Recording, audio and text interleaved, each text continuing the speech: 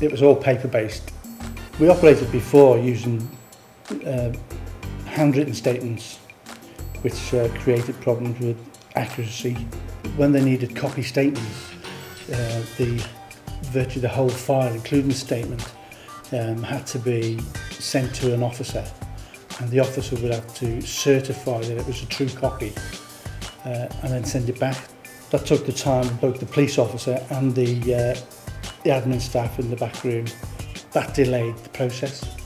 The time it takes to, to get all that done is quite critical. There had to be a notice of intended prosecution sent within 14 days. The delays eat into that time.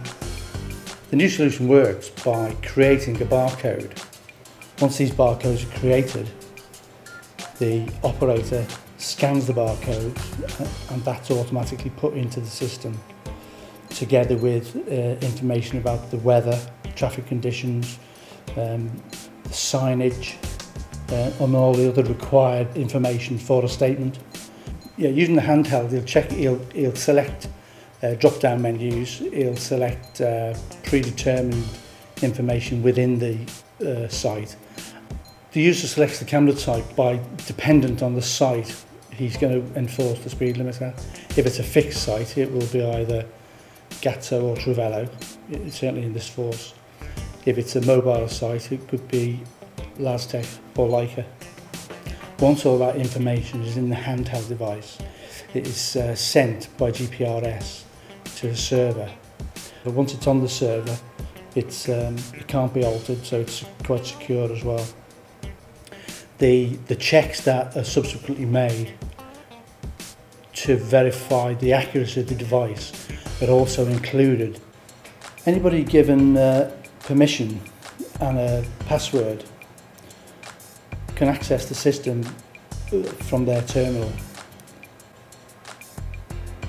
Some of the operators have got no um, technical expertise whatsoever.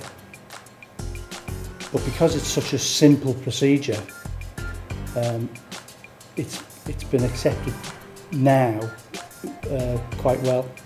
It's very easy to use.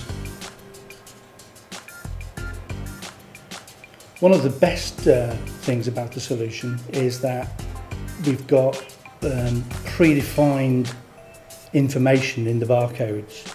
That's all in the handheld, and that's automatically transferred to the statement, so you've got accuracy. And that accuracy um, is absolutely vital. You've got an admin time cut down by the fact that as soon as that statement's produced, it's sent directly to the server and it's accessible by anybody with, with um, user credentials to, to access the server. There's also a benefit in when there's a, a reprint asked for statement, it is there readily available without having to have it certified.